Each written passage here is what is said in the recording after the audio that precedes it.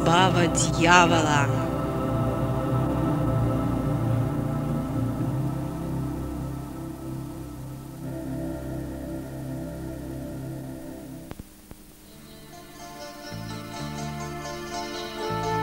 Курение табака индейцами Америки возникло на религиозной основе.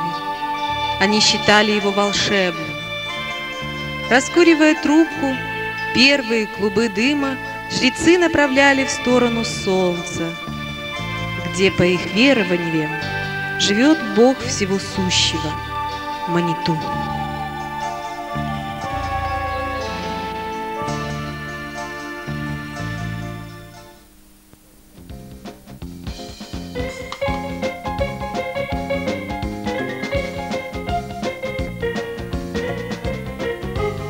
Сегодня ритуал табакокурения практически мало изменился. Вот только современные последователи древних индейцев пускают дым уже в другую сторону. Туда, откуда может исходить опасность.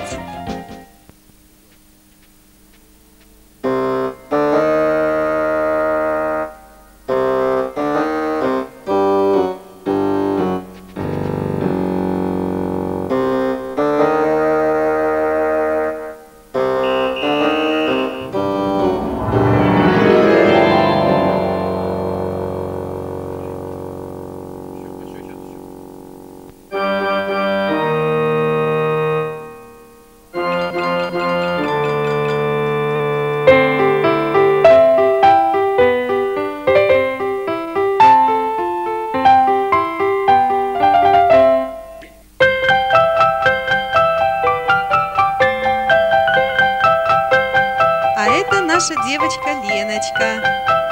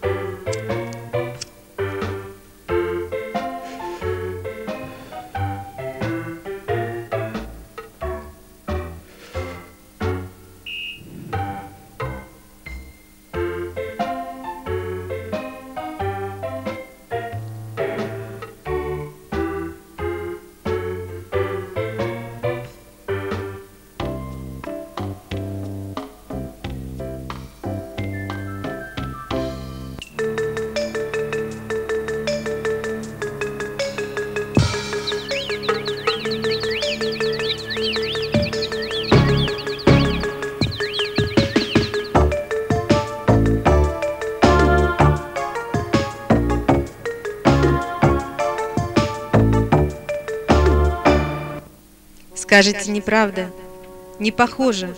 А это?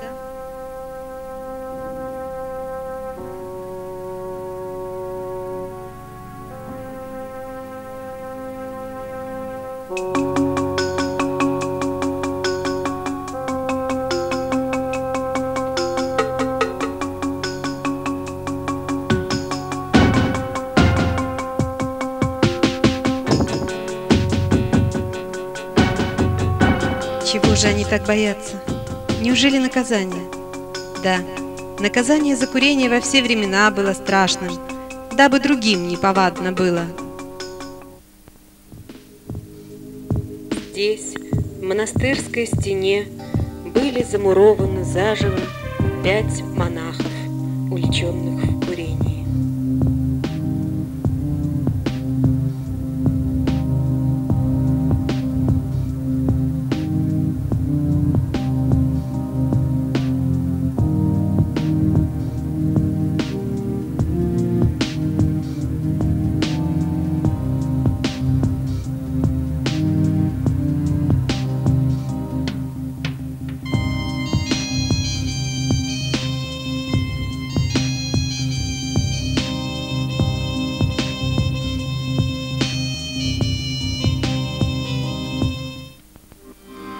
Англия, XVI век.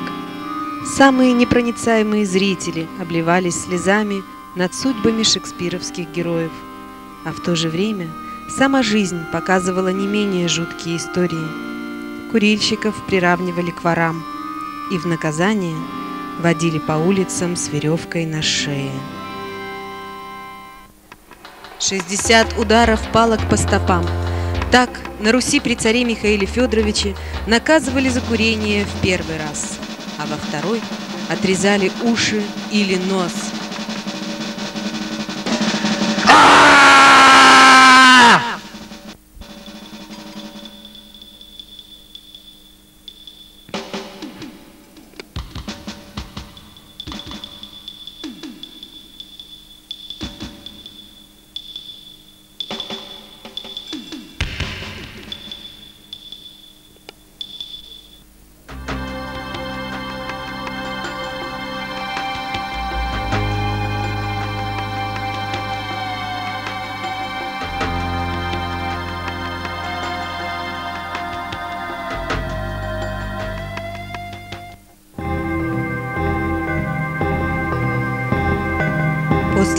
опустошительного пожара в Москве, причиной которого стало курение, в 1634 году оно было запрещено под страхом смертной казни.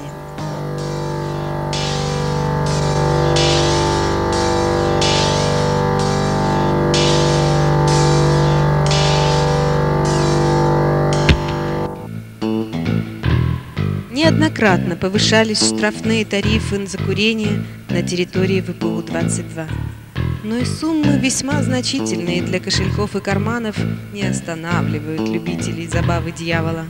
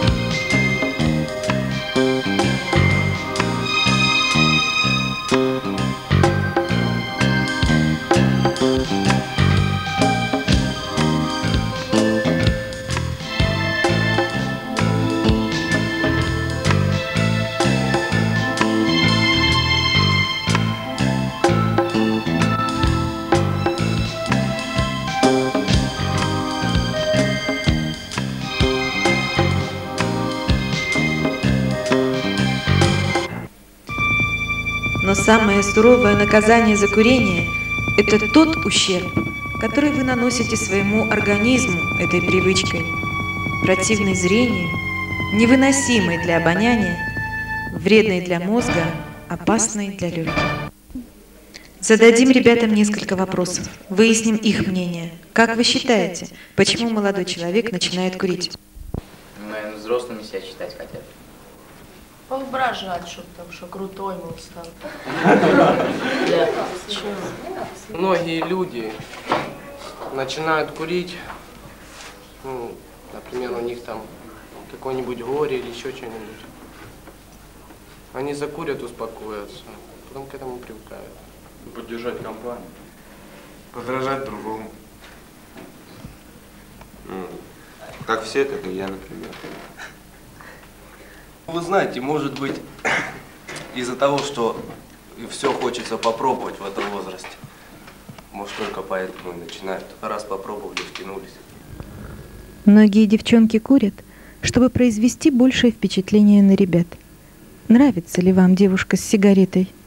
Как вы относитесь к курящей девушке? Очень отрицательно. Это вообще как-то для меня даже выводит из себя иногда. Ну, я плохо отношусь. Но продолжатели рода не должны вредными привычками увлекаться. Плохо отношусь. Плохо. Плохо. Плохо. Это ее дело, что она делает, мне как-то без разницы. А вы хотели бы, чтобы ваша жена, мать ваших детей, курила? Нет. Я жениться не собираюсь. Нет. Нет. Нет. Ну, если только лет после 40. Знаете ли вы, что происходит в организме курящего человека в момент курения? Какой опасности он подвергает себя? Какие болезни вызывает курение? Длительность жизни меньше. Заболевания. Раковые заболевания.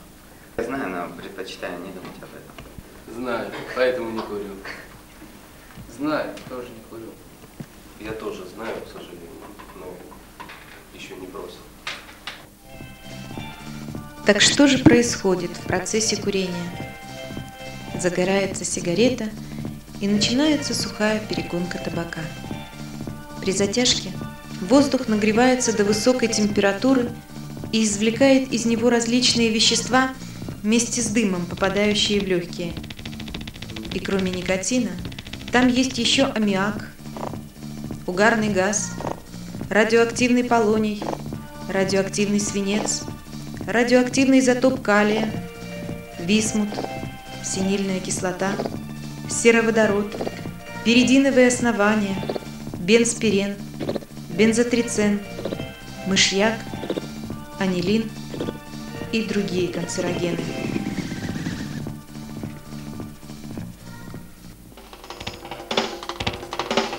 Все знают, что одна капля никотина убивает лошадь.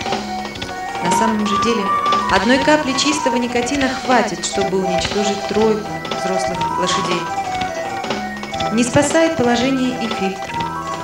В фильтре сигареты скапливается столько никотина, сколько достаточно, чтобы убить одну мышь.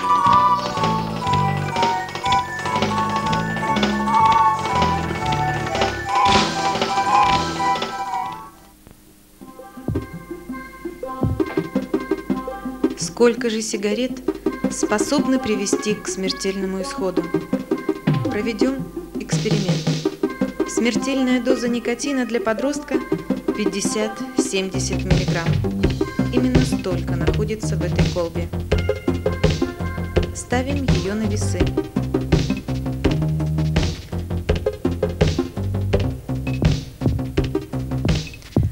А в этой никотин, полученный из одной сигареты. Сколько же нужно добавить, чтобы уравновесить колбы? Одна, две, три,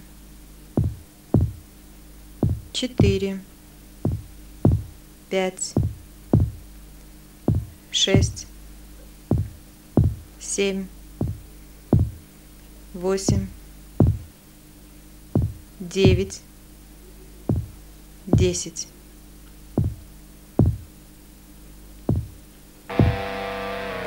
И чаши весов уравновешиваются. Таким образом, смертельная доза для подростка всего 10 сигарет, то есть ровно половина пачки, выкуренные за один раз. Жил-был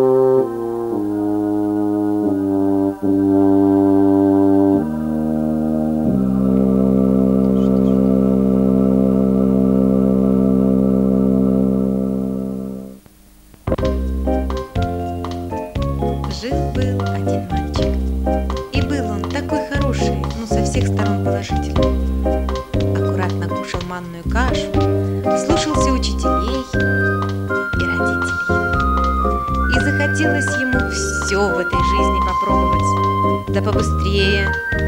А тут и друзья. Все курят, чем он-то хуже. И вошла в его жизнь сигарета.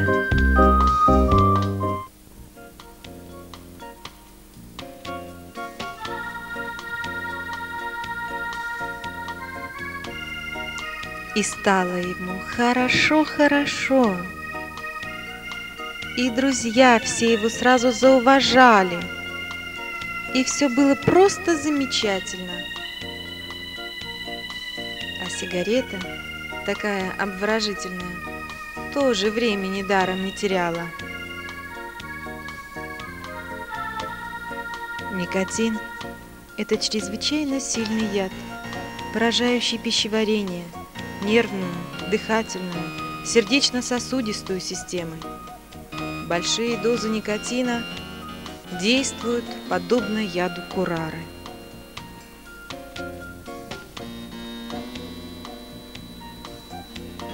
Коварно действие синильной кислоты. Проникая в кровь, она снижает способность клеток воспринимать кислород. Наступает кислородное голодание. При большой дозе из-за паралича центральной нервной системы прекращается дыхание, а затем останавливается сердце. Табачный деготь, скопище канцерогенных веществ, попав в дыхательные пути человека, вызывает злокачественный рост тканей. В течение года в легкие заядлого курильщика попадает около килограмма табачного дегтя. Среди ядов сигареты есть радиоактивные элементы. Полоний, изотоп калия, свинец, висмут. Человек, выкуривающий в день пачку сигарет, получает дозу облучения в 35 раз больше допустимой Международным соглашением по защите от радиации.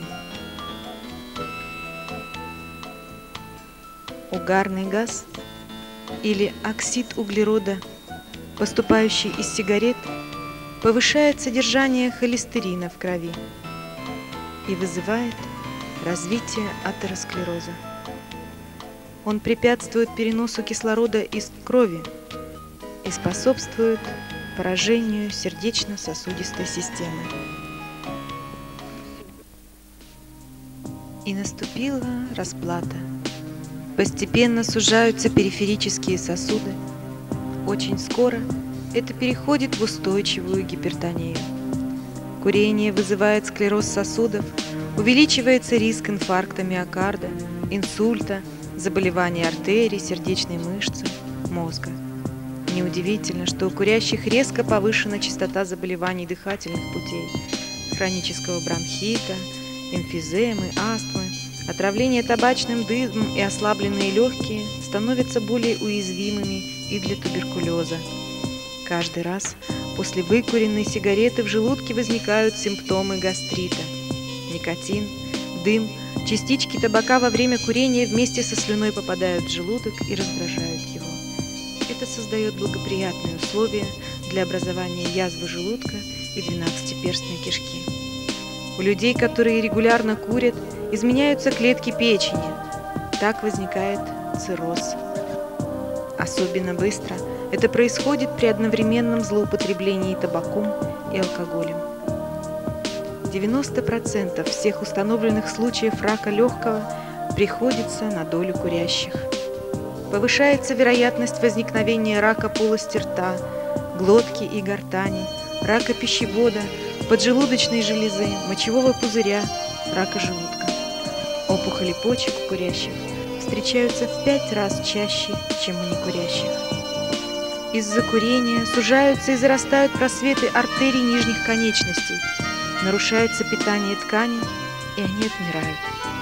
Начинается гангрена, что приводит к ампутации ног. По наблюдению специалистов, не менее чем в 100% случаев причиной полового бессилия оказывается курение –